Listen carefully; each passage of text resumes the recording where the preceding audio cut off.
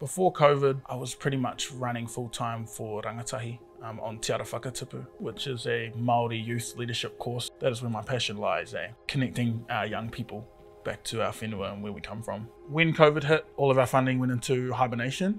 Um, so pretty much leaving me high and dry with not too much idea on, on mahi and opportunities for mahi. But yeah, then hearing about Kaimahi for Nature, getting the opportunity to work with DOC in partnership with Mai Runaka, um, Kāti Māhaki ki Makaawhio.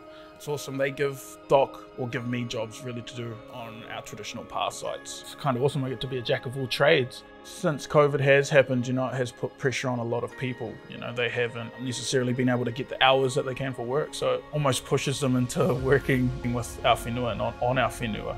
And, you know, conservation is a is a big thing for Aotearoa and I think Kaimahi for Nature has definitely helped bring more people into the fold and understanding that.